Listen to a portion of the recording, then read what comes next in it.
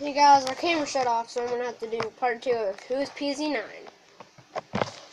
Hey guys, what's going on? So, PZ, a lot of you guys think PZ9 is Justin Chad Wild Clay's old friend. You saw the last video. There was like, like black hair front from like here to here, all flat. So, if you haven't seen this video, that right here is a hacker, which that's who you think you think that's PZ9. So I'm just gonna play it, and you can see.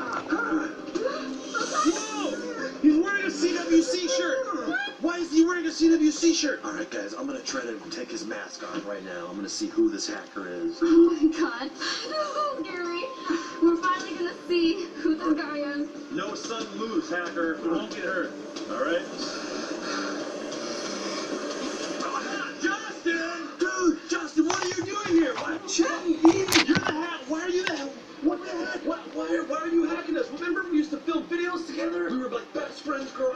Karate class and ninja class together.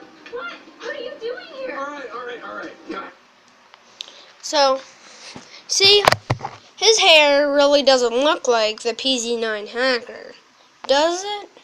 I mean, this was like, let me see how many months ago this was. That was six months ago, so he could have changed his hair a little bit, but, it, or it could have just grown long in the front. But that doesn't look like the hair that I said that could be his hair. So, yeah, just keep watching. It's, I know that this looks weird. Cut loose I will explain everything. I got the proof right back there. You got proof back there? Yeah, man, it's in a box. It's in a box right in there. You'll explain everything. Just cut me loose and then I can tell you what this is all about. All right, V, I'll stay here. You go back in there. What is it, a cardboard box? Please cut me loose. Come on, you guys know me. V, you wanna, you wanna go get the box? Okay, you stay here with Justin. I'm gonna go get the box. Alright. Just, alright. What? What was it? Who is it?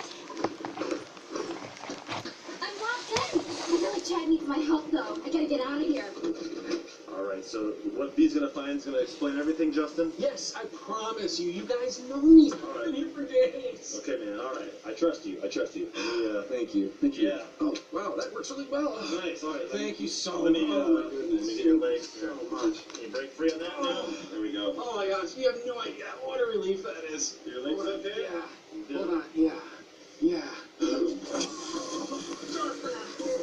Hey, watch this part.